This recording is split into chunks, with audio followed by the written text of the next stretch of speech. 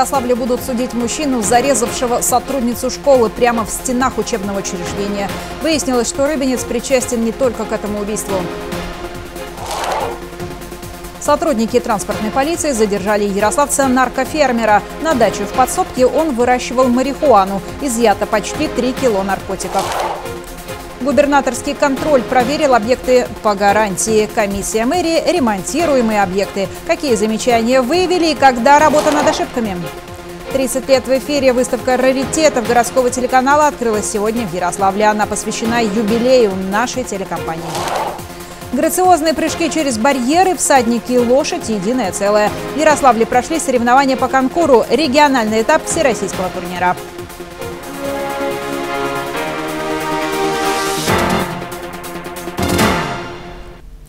Студии Наталья Пиунова. Здравствуйте. Вы смотрите новости на городском телеканале. В Ярославле будут судить мужчину, зарезавшего сотрудницу школы. Дело об убийстве направлено в суд. Городской телеканал рассказывал об этой трагедии. Она разыгралась прямо в стенах учебного учреждения. В ноябре 38-летний мужчина пришел в школу, пил с бывшей сожительницей и ее коллегой чай, но в какой-то момент случилась ссора. Мужчина кухонным ножом, которым только что разрезал торт, пырнул экс-сожительницу. Женщина скончалась на месте. Свидетельницу конфликта ранил. Она попала в больницу. Мужчина обвиняется сразу по четырем статьям Уголовного кодекса. Как выяснило следствие, Рыбинец причастен не только к этому преступлению. Несколькими днями ранее, во время совместного распития спиртного, он убил соседа по лестничной клетке, после чего забрал его банковскую карту и совершил с ее использованием ряд покупок в торговых точках города Рыбинска на сумму более 7 тысяч рублей. В Ярославле-1 мужчина угрожал другому гранатой. ЧП произошло сегодня на заправке в Дзержинском районе. Очевидцы сообщили в полицию. Как пояснили городскому телеканалу, в региональном УМВД произошел конфликт между знакомыми. Один достал муляж гранаты и начал угрожать второму. По сообщениям очевидцев, дикая сцена происходила на глазах у детей, которые находились у потерпевшего в машине. 43-летнего дебашира задержали. Проводится проверка. Подпольный наркофермер задержан в Ярославле. 36-летнего мужчину транспортные полицейские взяли в машине, припаркованной на территории одного из предприятий. В автомобиле были обнаружены 54 свертка с веществом растительного происхождения. Также в гараже были найдены еще 9 пакетов с запрещенным веществом. А за городом в подсобном помещении мужчина устроил наркоплантацию, где выращивал марихуану. Оборудовал освещение, поддерживал нужный температурный режим. В целом, Вес изъятого гашиша, конопли и марихуаны потянул почти на 3 килограмма. Возбуждено уголовное дело. Мужчина под подпиской о невыезде. В Ярославле на машину рухнуло дерево. ЧП произошло во дворе на улице 8 марта в Красноперекопском районе. Видео сегодня появилось в сети. Зеленое, не старое растение при отсутствии сильного ветра почему-то упало. Повреждена стоящая рядом легковушка. В комментариях люди пишут о том, что это карма за газон. Машина припаркована в неположенном месте.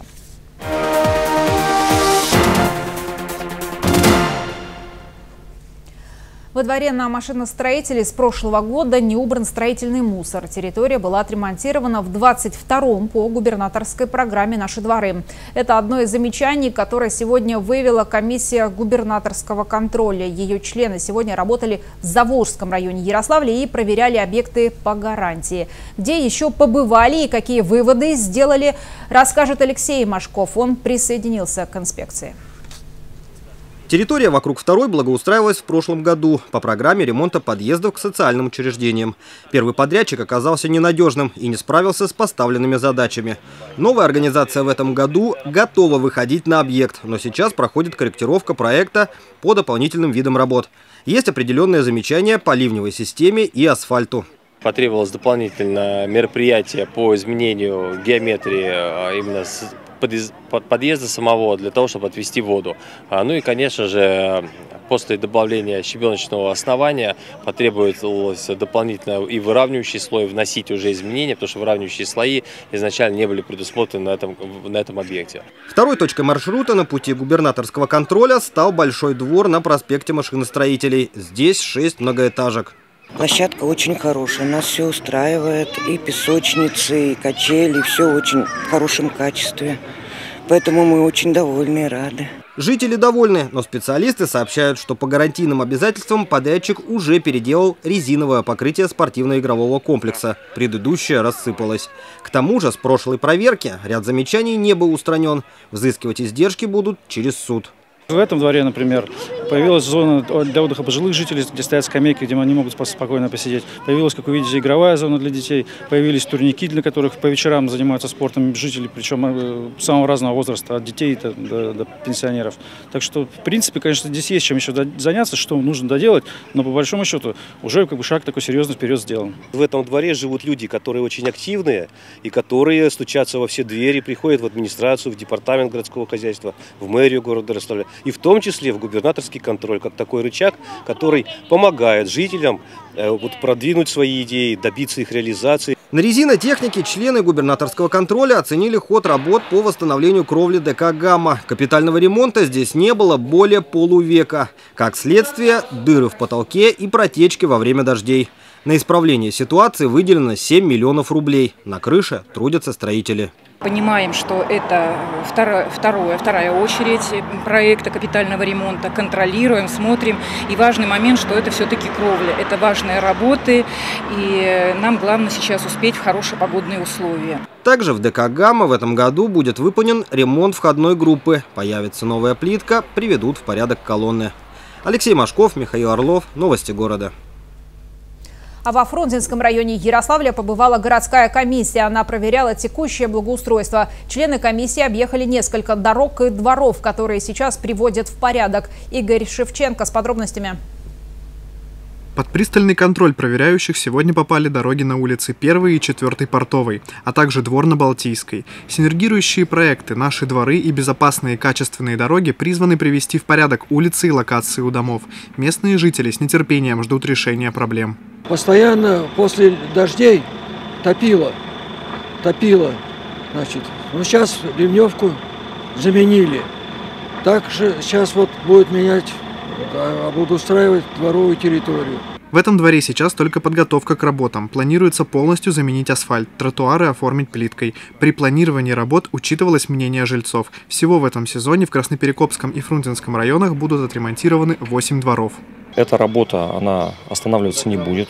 Э, мы будем дальше выделять бюджетные денежные средства для того, чтобы э, максимально большое количество дворов мы отремонтировали для того, чтобы жители чувствовали себя комфортно в нашем городе. В ряде дворов у нас завершаются работы энергоснабжающими организациями для того, чтобы обеспечить в дальнейшем надежную эксплуатацию и не создавать проблемы и конфликты скрытия новых э, покрытий асфальтобетонных. На первой портовой к проверяющим присоединился мэр Артем Молчанов. Сейчас улица ремонтируется по нацпроекту «Безопасные и качественные дороги». Заменят километр асфальта. При этом дорогу расширят, сделают тротуары, которых раньше не было. Была яма на яме и очень плохо были, в общем-то, нерешенные вопросы с водоотводом.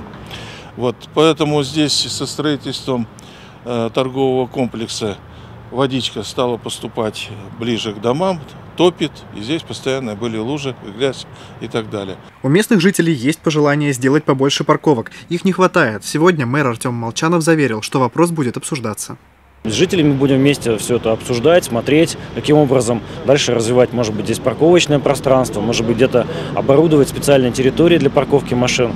Ну, проблема видна, проблема есть, но сейчас главное сделать проезжую часть. Сейчас подрядчик опережает график, по которому дорога должна быть сдана в конце лета. Обещают выполнить работы раньше срока. Игорь Шевченко, Денис Кауров. Новости города.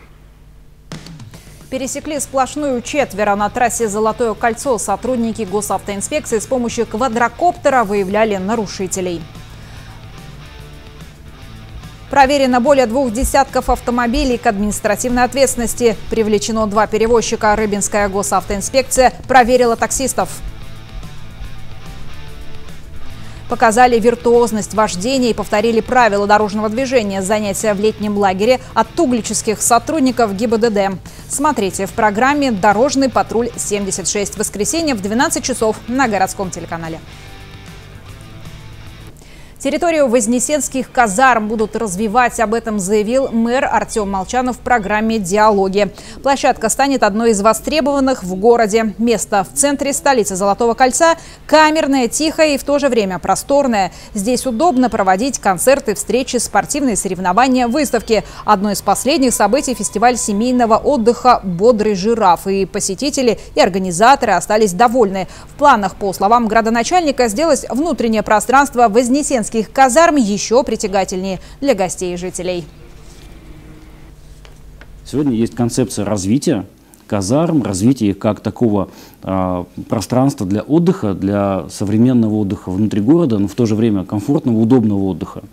А, эта концепция уже утверждена, нами согласована, и она в ближайшее время будет реализовываться.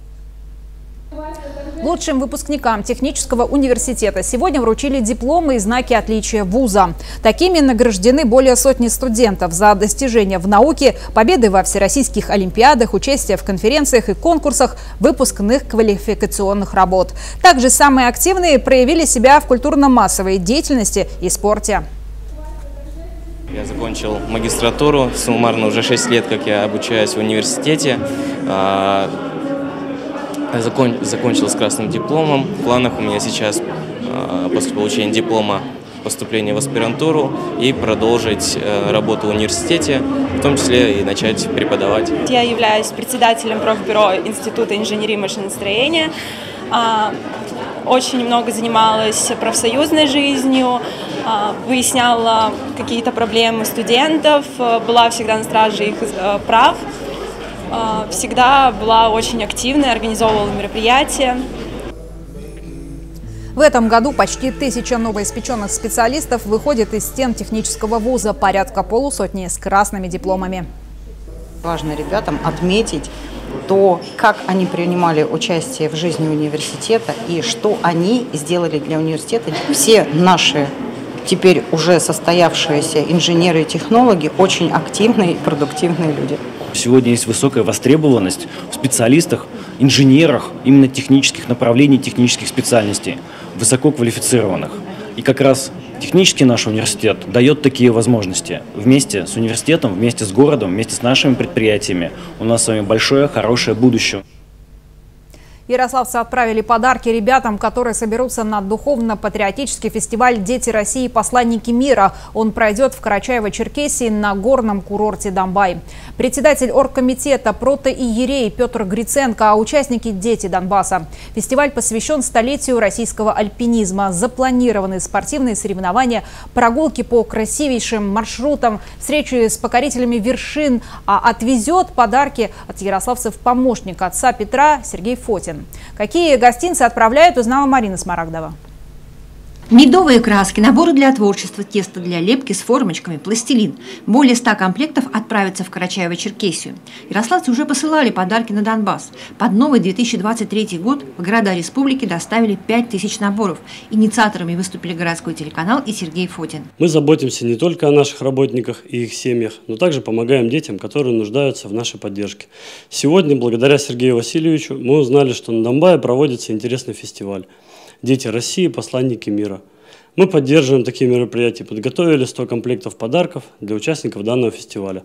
Надеемся, что в это непростое время наши материалы помогут детям увидеть этот мир в ярких красках. Сергей Фудин совершает командировки для того, чтобы собирать помощь для бойцов на передовой, но и не забывает о детях. У нас с 10 по 20 июля настоящий, хочу сказать, военный священник, протеерей Петр Гриценко, организует очередной фестиваль для детей – Донбасса, поскольку это ярославское предприятие, я просил отца Петра, чтобы следующий фестиваль там присутствовали детишки из Ярославля. Предприятие не только оказывает гуманитарную помощь Донбассу, но и является партнером Артека. По результатам конкурса творческих работ 25 школьников города отправились в Крым.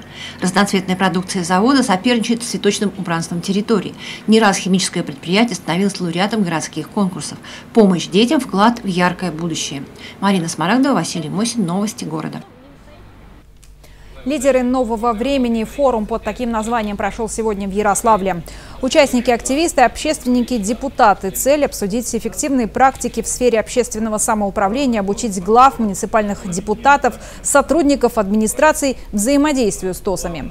В рамках форума велось дистанционное обучение, все участники которого получили сертификаты о прохождении курсов. Организатор – региональное отделение Всероссийского совета местного самоуправления. Мы привлекали э, экспертов с территории не только нашей области, но и России, э, потому что практики есть интересные и в сфере благоустройства, в сфере э, также административного законодательства, наведения порядка на тех или иных территориях, а в том числе, наверное, это самое главное, те проблемы, которые выявляются, как вокруг них объединить жителей для их решения. Наша взаимосвязь с людьми – она очень важна. А важна именно вот исходя из тех новых законодательных документов, которые только что в области приняты, благодаря работе наших координационных советов, которые мы развиваем, и совершенствования именно работы э, депутатского корпуса. Юбилею посвящается городской телеканал и музей истории Ярославля создали выставочный проект «30 лет в эфире». Экспозиция телевизионных раритетов предлагает пройти путь в три десятилетия. Она откроется завтра в зале имени Николая Нужина. Сегодня состоялся пресс-показ. Ярославцы смогут взглянуть на ежедневную работу телестудии по другую сторону экрана, увидеть коллекцию автографов гостей телеканала. В фотозоне можно попробовать ощутить себя на рабочем месте ведущего эфира. Марина Смарагдова с подробностями. Городской телеканал всегда широко отмечал свои юбилеи. Первый год – прямой эфир целый день. Пятилетие – уже праздник в Вознесенских казармах. Десятилетие гуляли всем городом на Даманском. Ну и апофеоз – это, конечно же, праздник на Советской площади. В 30 решили сделать долгоиграющий проект, чтобы ярославцы вместе с нами смогли осмыслить время. Ведь телекомпания «Ровесник Новой России». Идея выставки принадлежит генеральному директору городского Сергею Гончарову. Те образцы техники, которые нами сохранены, они здесь представлены. Здесь можно видеть эволюцию телеканала. Да? Техника за 30 лет, это очень важно люди могут посмотреть. А самое главное отличие этой выставки, здесь можно все еще и кнопочки нажимать, и потрогать, и движки подвигать. То есть это замечательно. Выставочный аналог телевизионной студии. Каждый ярославец может почувствовать себя ненадолго ведущим программы новостей. Образцы кассет. За 30 лет техника шла семимильными шагами. Для посетителей сотрудники музея проводят экскурсии, рассказывая не только о камерах, но и об истории телеканала. Для нас это еще прежде всего настоящие друзья, не, не, вот не постесняйся этого сказать, это партнеры надежные, это помощники, это люди, которые э, очень профессиональные, это талантливые, креативная команда, надежная, комфортная и очень для нас, знаете, важно, честно, важно. Городской телеканал в лицах. Фотографии разных лет удачно дополнили экспозицию. Фотографировались нечасто, зато теперь каждый снимок на вес золота. Команда молодости ГТ. Очень многих я знаю лично, с очень многими в эфирах был. И это всегда было вот напряженно, но уверенно, потому что такие сотрудники, так, еще вижу, вот, они просто внушают уверенность. Я очень рад, что телеканал выбрал именно музей истории города. Телекомпания давно сама вошла в историю и стала неотъемлемой частью культурного пространства города. В залах повсюду телеэкраны и проекторы. На них концентрация того, о чем рассказывали корреспонденты в сюжетах, куда ездили за многие годы, и анонс программ, которые сегодня составляют наш контент. Всей семьей с удовольствием смотрим городской телеканал. Особенно сейчас нравится программа «Местно интересно», где ваши юные журналисты снимают замечательные сюжеты. Поэтому желаем городскому телеканалу дальнейшего процветания, самых интересных сюжетов и, конечно, ждем самых добрых новостей. На выставке уже поселился зритель. Ему имя придумали Гоша. Сотрудники музея создали много креативных решений для размещения экспонатов, многие из которых уже живая история. А в конце рабочей недели с ярославцами будут встречаться известные телеведущие и журналисты. Общение так и называется – «Телепятница». Марина Смарагдова, Денис Кауров. Новости города. Ярославцы предпочитают пляжный отдых. Это следует из нового исследования крупного информационного портала. Нежиться на песке у моря хотели бы более половины опрошенных. Дачные радости выбирают 44%. Отпуск с пользой для ума, музеи, экскурсии отдают предпочтение такому более 40%. Выбор активных видов отдыха снизился на 5%. Теперь половить рыбу, поохотиться или отдохнуть с ветерком хотят лишь 27% респондентов. И только каждый четвертый мечтает мечтает о санаториях и пансионатах. Один вид отпуска стал неактуален, количество интересов у россиян возросло. Пришло время спортивной части выпуска.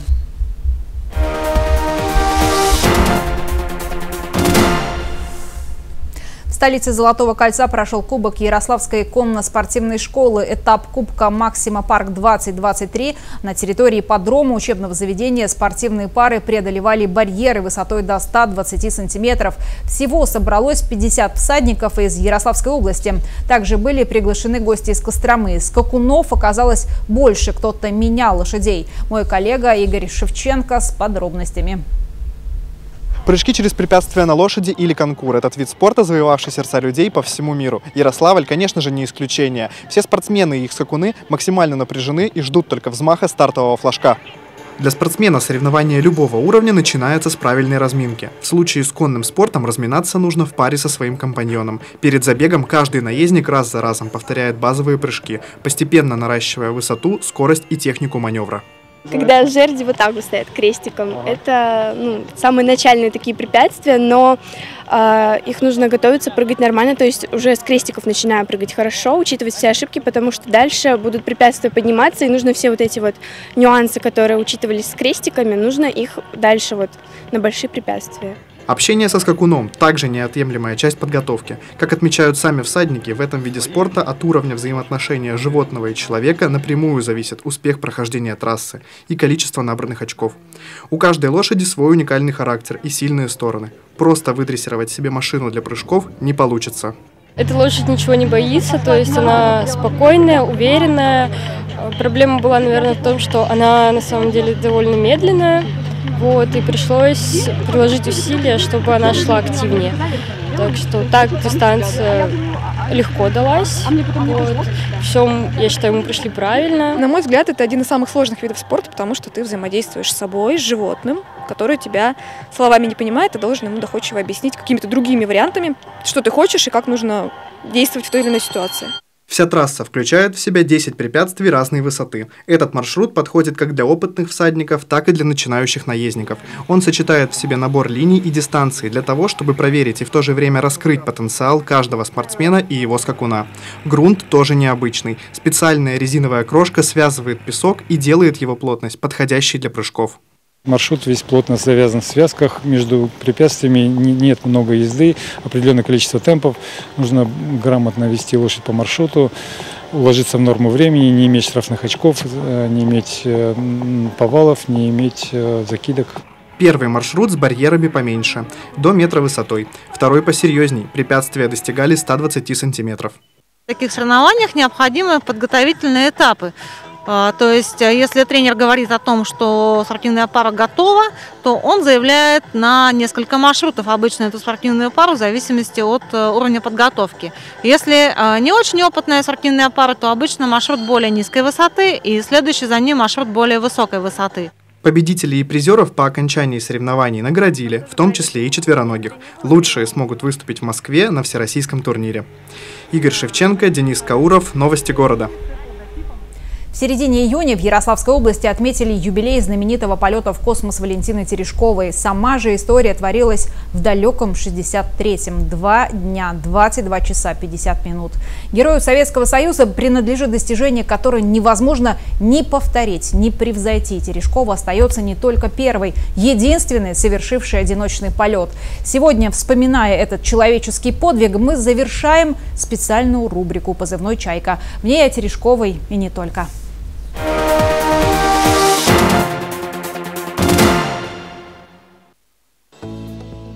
В 2018-м в селе Никульское Тутаевского района, где расположен музей «Космос», посвященный судьбе первой в мире женщины-космонавта Валентине Терешковой, осветили новый православный храм во имя святителя Николая Чудотворца, построенный благодаря усилиям нашей знаменитой «Чайки».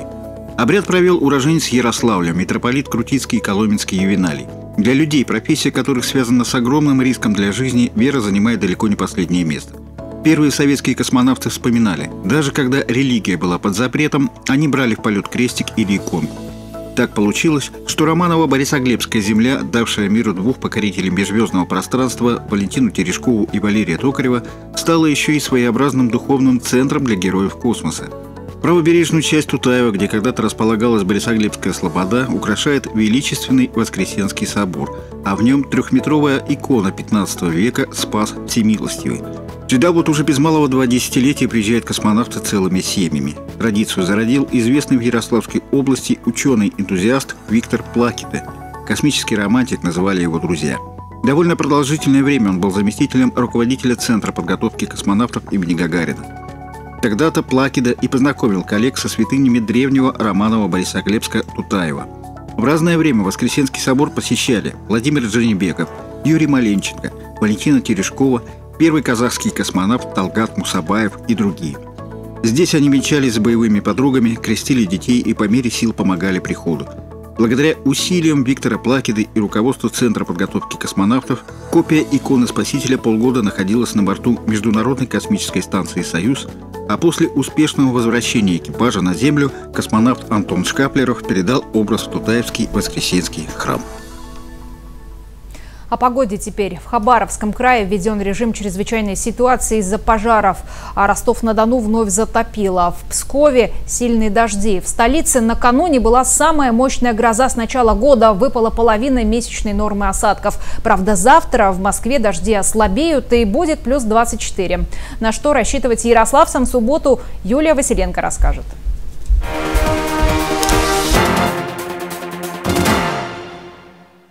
Здравствуйте, в студии Юлия Василенко с прогнозом погоды на субботу. Облачность продержится весь день. Сильный дождь будет идти ночью и утром. Днем осадки ослабеют и к вечеру закончатся. Подробности через несколько секунд. Для вас, очкарики, лазерная коррекция зрения за один день. Идеал. Телефон 72 12 18.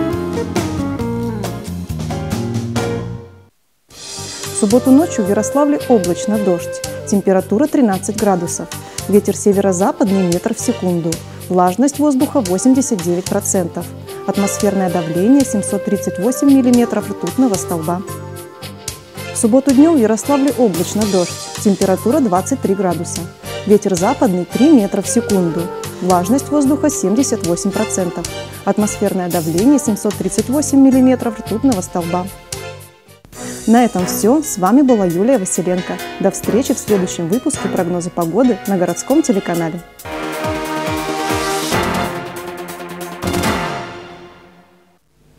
Через мгновение в эфире фильм «Афера века» – криминальная комедия об ограблении банка по мотивам реальных событий. Приятного просмотра! Наши новости доступны на сайте gtk.tv, в телеграм-канале, официальном паблике во Вконтакте и на видеоплатформе YouTube. Сообщайте новости в редакцию по телефонам 72 11 70 72 11 80. В студии работала Наталья Пиунова. До встречи в эфире.